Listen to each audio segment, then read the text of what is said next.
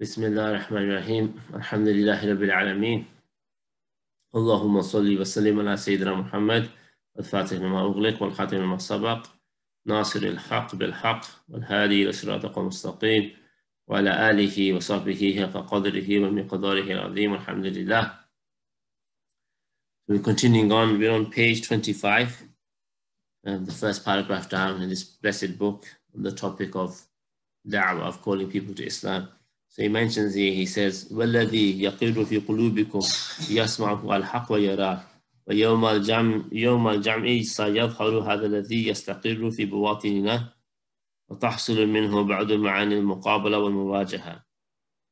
So he's saying that he's talking here about the concept of muraqabah, the concept that Allah subhanahu wa ta'ala, the, the idea or the reality that Allah subhanahu wa ta'ala is aware of our innermost secrets. He, he's aware, aware of our thoughts and, and, and what we're pondering on and what we're thinking about. Now, this, of course, is a, this is an essential attribute for both a Muslim and also for the caller to God.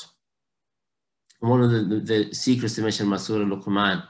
Surah Luqman is um, a chapter in the Quran that teaches us how to rear children and it teaches us how to establish education with children. What do we teach children? What are the priorities? And by extension, it also teaches us what we should know ourselves. What are our priorities? What should we be learning first and foremost? So what should we teach our children? What should we teach those who are who are who we're teaching and who we're looking after? And what should we be learning ourselves? So the very first point, as mentioned in Surah Luqman, is Tawheed, is to believe in the oneness of Allah. And then the second point that's mentioned that he tells his son, Sayyidina Luqman tells his son, that he tells him that there's nothing that's hidden from Allah subhanahu wa ta'ala. This is the point. The second lesson of life, the second lesson of Islamic education, you can say, is what's called muraqabah, the idea or the, the awareness, the permanent awareness that God is watching you and what you do this awareness is has to be established and has to be inculcated within the heart.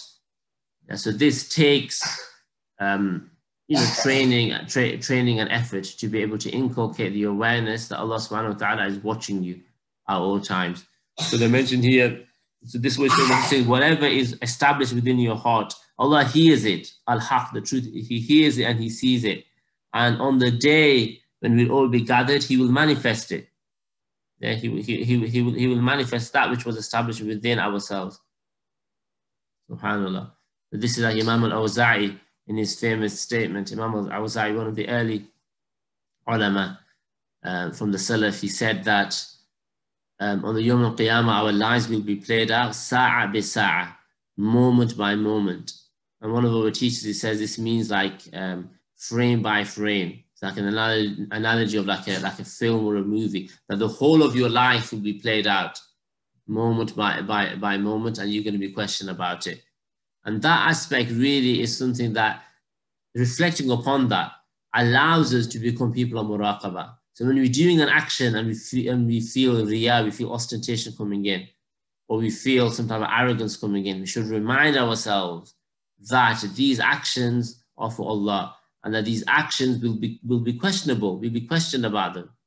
The, Allah subhanahu wa ta'ala will ask us, the, the action will be shown, the, why did you do this? Why did you do that? So these questions will be shown and we will be questioned and we will be asked about them. So therefore, when we reflect upon that, it will bring us in to a state of desiring Allah alone and focusing back, just I want to do this just for Allah. Because any other motive is going to be exposed, any other motive is going to be shown.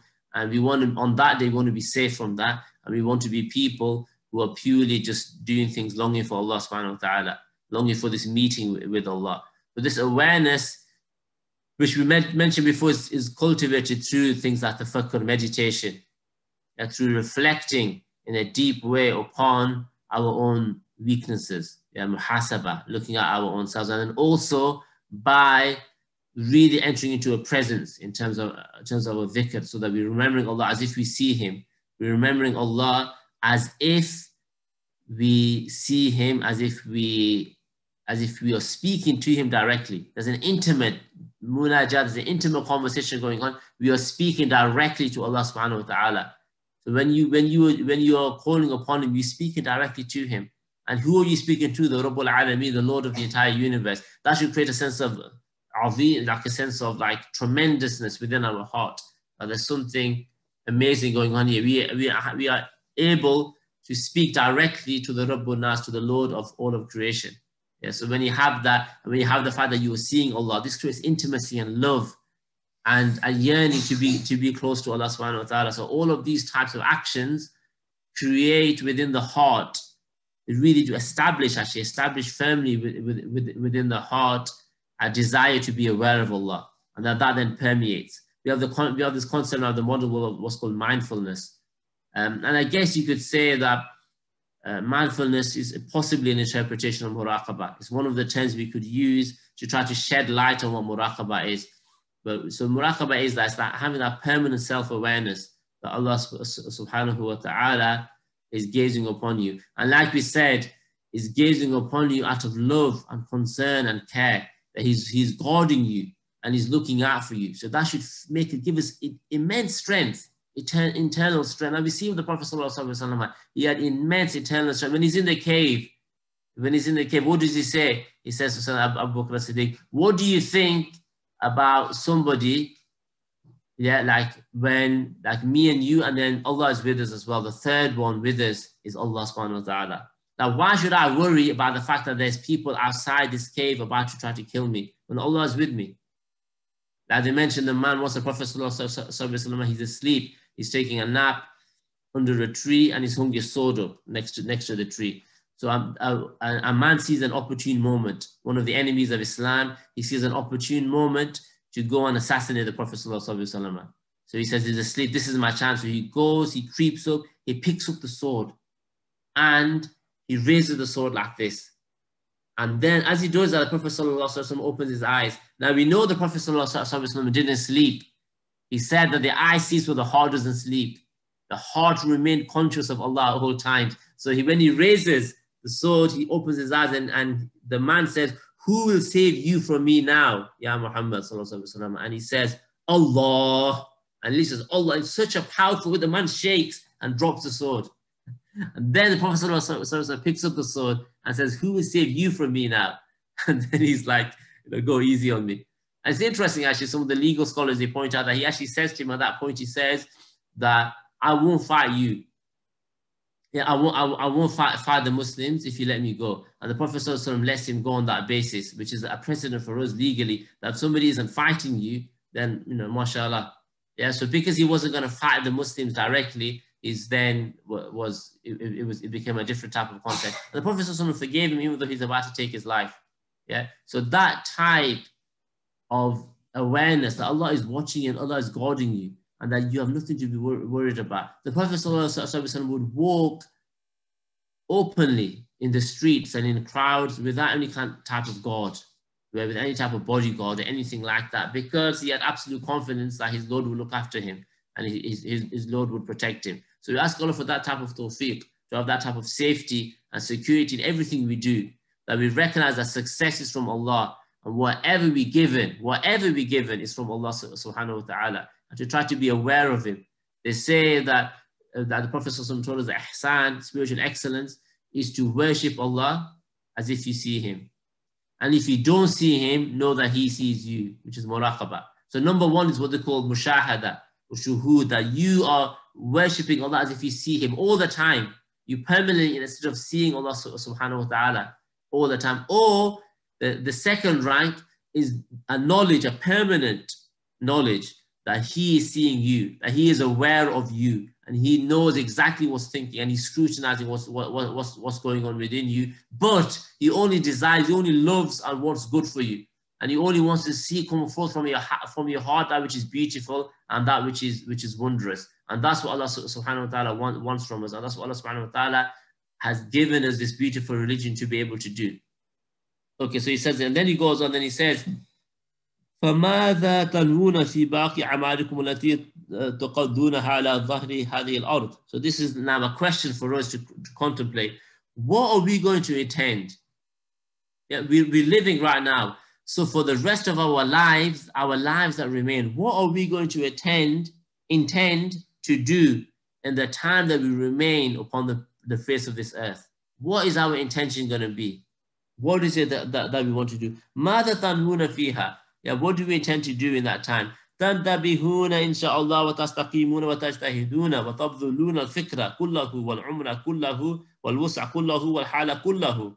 Yeah, so he says, become aware and become firm, steadfast, and struggle and expend all of your energies, all of your thoughts, all of your life, everything that you have, your internal strength, expend all of that in what?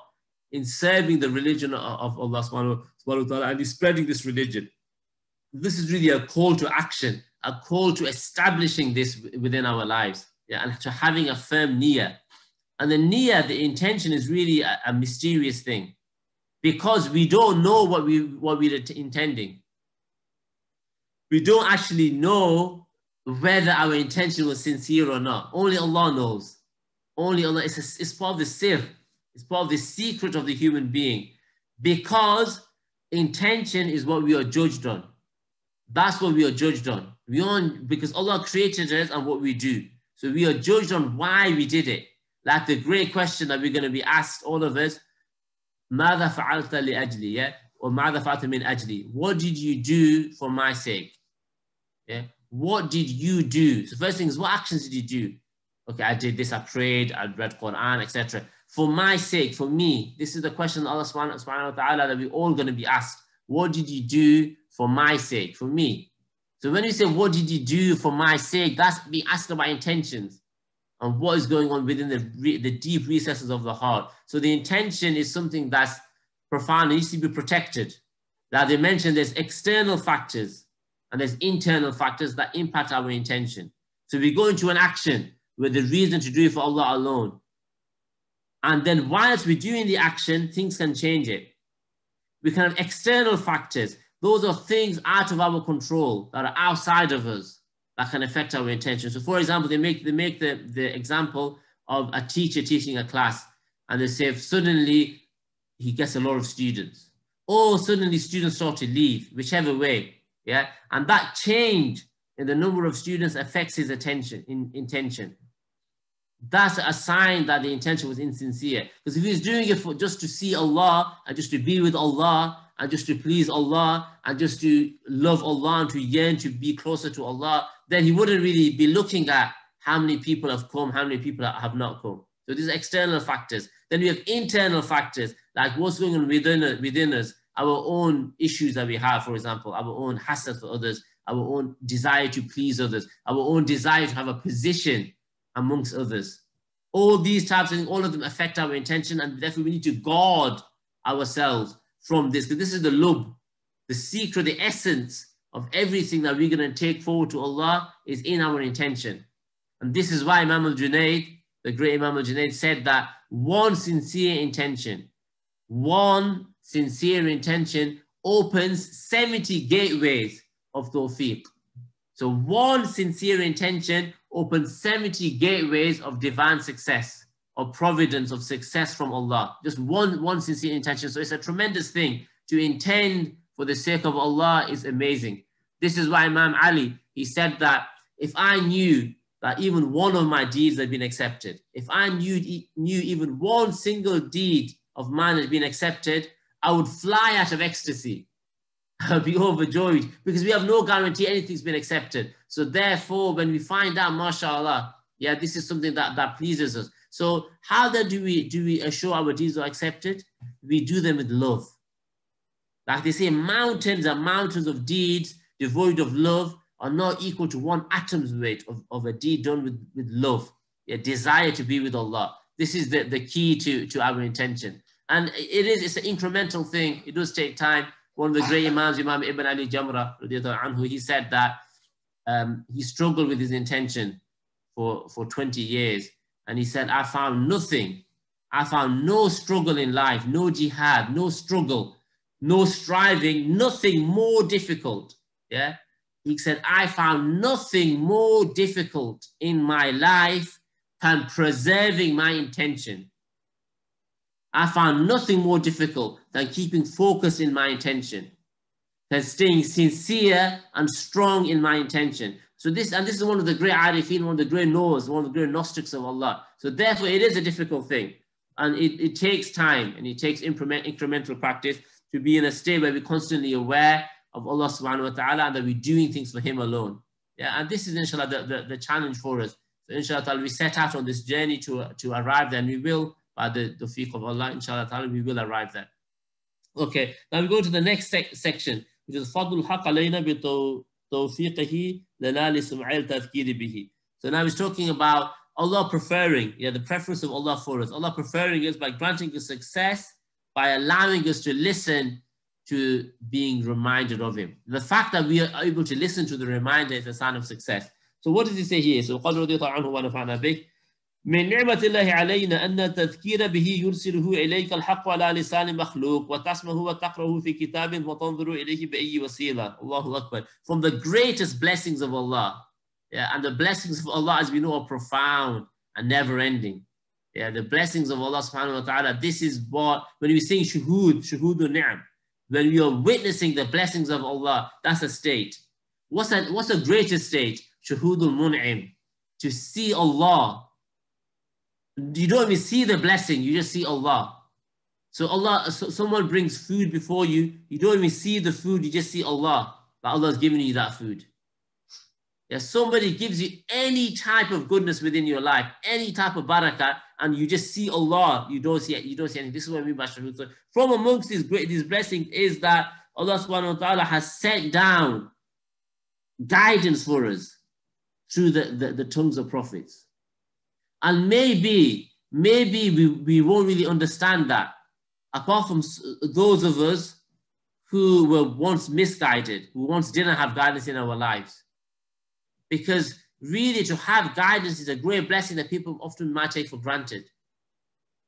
But ask those who have no guidance, who are seeking paths and are trying to find some type of peace and happiness in their lives and some type of sakina and some type of waqar Ask them what it means to be guided, what it means to have guidance. Yeah, it's a great, great blessing. والحقيقة أن الحق سبحانه وتعالى هو الذي دعا خلقه إليه. The reality is is that God is the one who calls people to him. Allah subhanahu wa ta'ala is the one who calls creation to him, his creation to him. ثم في العالم الخلقي جعل الداعي لنا نبيه محمد صلى الله عليه وسلم فما كانت لسان دعوة إلا مفرعة عن لسانه صلى الله عليه وسلم فصار دعوة الحق تصل إليك وأنت من حيث تصفيت ومن حيث تنقيت تصافي So he says, this is very important. He says the reality the reality is that Allah calls people to, to Him. Allah subhanahu wa ta'ala calls people to Him. That's the reality. But Allah has made it that He has, He has, in this created world, in this world that we're in, this dunya, He has made the Prophet wasallam the absolute caller, the caller to Him. Allah has put, placed within the blessed heart of the Prophet wasallam all of the secrets of calling people to Islam. All of that. He has become the caller, the da'yan ilallah bi'idhnihi. Yeah, he is the caller with absolute permission to call people to, to Allah. He is the one. And what are we then? So therefore, all we are is just a piece. Yeah, just a piece of his da'wah. Our tongues are just a piece from his tongue, the tongue of the Prophet which is the tongue. That's why when we call people to Islam, we are simply calling people to Him. That's all we're doing. Really, we are calling people to the Prophet. sallallahu alaihi wasallam. That's it. That's that, that's what we no matter who it is and, and, and, and what context, we, because it's universal. So for example, when we go to when we engage with children, when we go to schools, we ask our teacher, our teacher Sheikh Omar Hussein al-Khatib, we visit schools and we talk about Islam. What should we teach them? What should we do? He said, call them to Muhammad. Just call them to the Prophet. Whether we're looking at the disenfranchised, the weak within society, which is who the Prophet cared about the most, we call them to the prophetic example. Whether we're calling the, the affluent, whether we're calling the working class, whether we're calling our immediate friends and, and family, whoever we're calling, we point them to that. Yeah, through number one, we point them through talking about him, through teaching people about him. Number two, through embodiment. We embody his character traits and through embodiment, we, we, we, now, we now call people. I, I remember the fakir a few months ago, we were sat with um, Habib Hashim for the whole lot and talking about, about this issue of da'wah and calling people to Islam. And he said, really, it takes people of great charisma and it takes people of great character. And he said, make dua to Allah that He places these character traits in your heart. He said, this is what you should hope that these sifat, these qualities, prophetic qualities,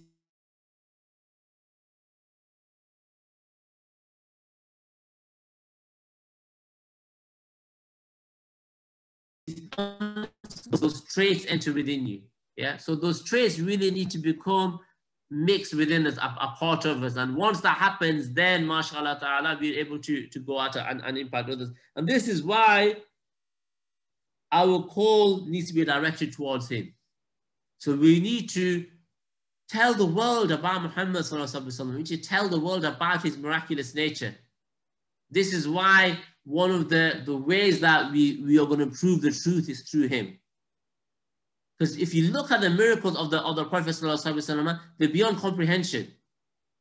And they exist to this day. So I'll just give you one example of his miracle, just one example, just his name. His name is what? Muhammad. What does Muhammad mean, وسلم, linguistically? So we have the, the root of his Hamida, which means to praise. Yeah, Hamada means to praise extensively. Yeah, and then Muhammad, Muhammad means the one who praises extensively. Yeah, Muhammad is the one who is praised, the one who is praised extensively. And the Prophet Wasallam, it's amazing. I mean, look at that name. There was no one before him who was given that name. It was a very unique name. And they asked Abdul Muttalib, that why is it that you've given him that name, his, his, his grandfather? And he said, because I hope that he'll be praised. Yeah, I hope that he'll be, and there's no one now in, in human history up to this day who has been praised anywhere near the same extent as the Prophet Sallallahu That we have millions and millions and millions of poems in his praise and, and in his honor. Yeah, the art form of po Muslim poetry is the highest art form. This is what our teacher, Sheikh Abdul Muradi mentions that the Muslims, he says, they excelled in calligraphy.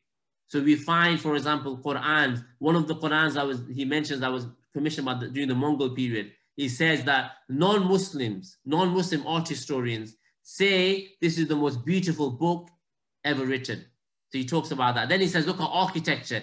Again, he says non-Muslim art historians will say that the Dome of the Rock is the most beautiful building ever constructed. Or they say the Taj Mahal, or they say the Alhambra. Yeah. So the Muslims excelled in these things. He says, but the greatest art the Muslims excelled in was poetry. This was the supreme art of the Muslims. And if you look at poetry, he says 90%, 90% of poetry is praise of the chosen one, sallallahu wasallam. So look at that. I mean, it's, it's, it's amazing. The adhan, we hear Ashhadu anna Muhammad Rasulullah sallallahu all over the, a quarter of the world. There's never a moment that goes by except that he's being mentioned. Muhammad, Muhammad, Muhammad, sallallahu alayhi wasallam, in all contexts, in all ways. How is that? Yeah, and his praise goes on. I mean, you just look at the amount of biographies, Sira, yeah, Shama'il, Khasa'is, the Dalail al-Nubuwa. Look at the amount of books, hundreds of thousands, even millions of books written upon this blessed prophetic personality because he's praised more than anyone else, whether it's poetry, whether it's prose. How is that? This is an individual, So, if you look at him outwardly, he was born in the 7th century in Arabia in an area that was the darkest place in the world at the time. There's no civilization. He had no access to learning. He had no access to anything that, that we would consider to be knowledge and that we would consider to be a civilization. And yet, look at, look at what he produced. Look at the civilization that he produced. Look at his achievements. These are all miracles. We can go on and on, inshallah, the fakir, we're hoping to do just a separate course on this topic on what we're going to entitle the first proof of Islam and looking at the, the, the Prophet 20, 25 different points on why the Prophet is the representative of the truth. Yeah, so this is one aspect of which we call people through these examples. Now look at the Prophet's liberation of women.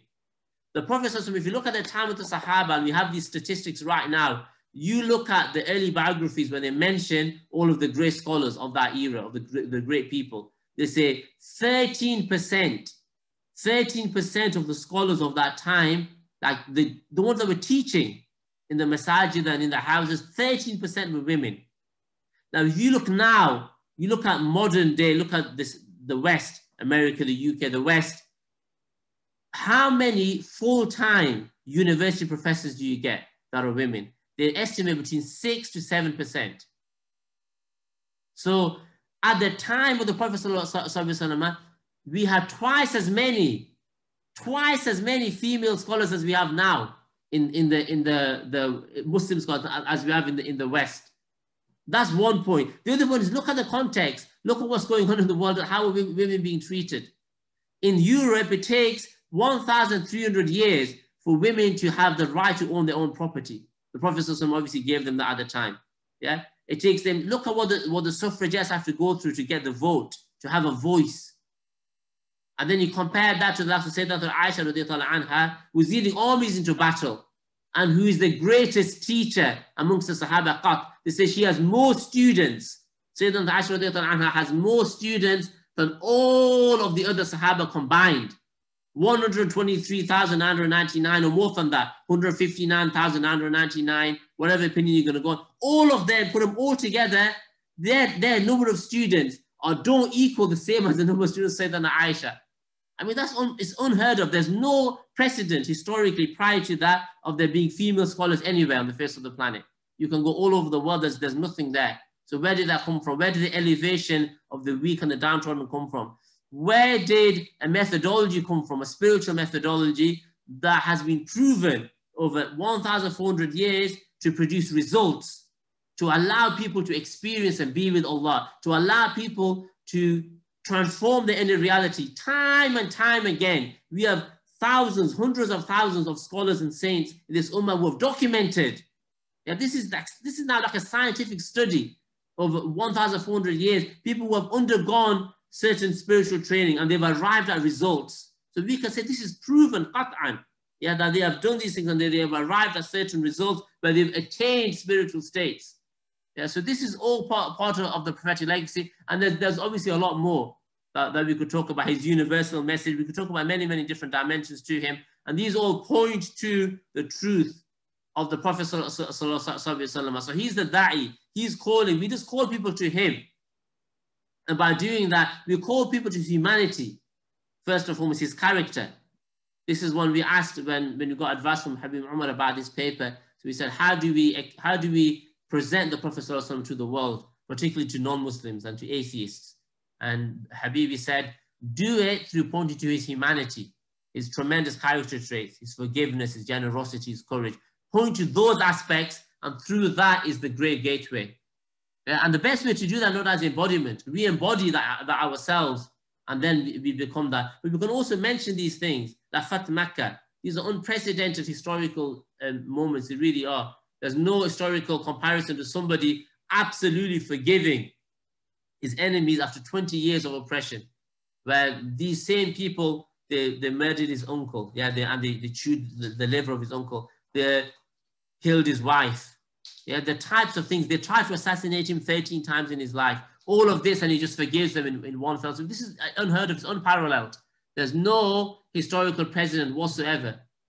The historical president is to go in and to massacre everybody. When you come, he entered Mecca with 10,000 people, the largest army Arabia had ever seen, 10,000 uh, men. And as we mentioned previously, that army was diverting course because he didn't want to disturb a litter of dogs. The Prophet had such concern for animals that he didn't want to disturb this group of dogs. So he said, let's move the whole army around. This is the mercy, this is the, the gentleness of the, the Prophet that we need to show to the world, inshallah. And when we show that to the world, then inshallah they'll see beauty and they'll it'll give them a sense of, of closeness to the one who we close to sallallahu alayhi. Inshallah. Okay, we'll, we'll stop there. Inshallah, if there's any questions, inshallah, please um, put in the chat box so you can unmute your, unmute your mic and ask as well, inshallah. Um, there's a question here. When that question happens, will that be in front of Allah subhanahu wa ta'ala on, only or also in front of all of creation? So what the ulama mentioned is that this will be in front of all of creation. So what happens is that the, the questioning takes place in front of Prophet, Prophet in front of everybody. Now, obviously, the, this is the point of Tawbah, like we were talking about in the evening classes. Tawbah, to give an example, like the, kind of with the movie example, Toba is an editing reel. So you've got your whole life, this long film that's being played out. Now, the bits that you made Toba from sincerely are removed. Yeah. If you are really profound in your Toba, you don't even have a hisab. That's why they say just to have a reckoning is a punishment. That just to have a reckoning is a punishment. So therefore you ask to enter Jannah bila hisab, wala itab. You ask without. This is why you see many, many of the pious, the morning time, Fajr, and then after Maghrib, they make this dua to enter into Jannah without hisab. And if you're making that dua every day, then mashallah, we have, we have good hopes in Allah. Okay, so now please can you define muraqabah? Sorry, I missed. Can you recommend a, okay, so a couple of questions here. So the second one, can you recommend a seerah book in English? There's there's only one seerah book in English, really. That's head and shoulders above all the others, which is the one by Martin Lings, just called Muhammad Sallallahu Alaihi Wasallam, his life from the earlier sources, I think. That book is really, mashallah. I mean, the Faqir, I, I, read it again recently, just when, when I was in Tareem, and it's, it's absolutely amazing. Really it's absolutely amazing. I mean, like each page, there's like two, three stories in there, two, three gems that are just blow you away. Now, obviously, there's one or two points in there that, that aren't correct. But I mean, you know, the, what book is it that is perfect other than the, other than the Quran? So there is a couple of things in there um, that, that aren't accurate, but you know, two things out of a, a masterpiece, really much. And the way it's been written and everything is just mashallah, it's absolutely amazing. So I would recommend that. The muraqabah, so muraqabah, we could say is that watchfulness is having a sense that God is watching you. Yeah, that God, that God is watching you and that God is aware of you and is aware of what's going on in your inner state. And like we said, that doesn't have to be seen as a negative thing. It's not, a, it's not like God's watching me to make a mistake or God. It's actually that God's watching, God's looking out for you. God's, God's has his watchful eye over you to, to look after you and to guide you. Yeah, so it has that aspect to it. And it also has the aspect of then taking our internal life seriously because what's internal is more important than what's external. Allah is gazing upon our so this is what they say sincerity sidq is that it's equal at the very least our outward should be the same as our inward but really our inward should be better than our outward so what we're showing to the world yeah our outward practice of islam what's inside us should be much sweeter and much better and much stronger than, than that. that that's that's the, the the that's the point of muraqabah and that's why we should attempt to become people of muraqabah so that we can become in, internally purified, inshallah. Uh, Is there any other questions?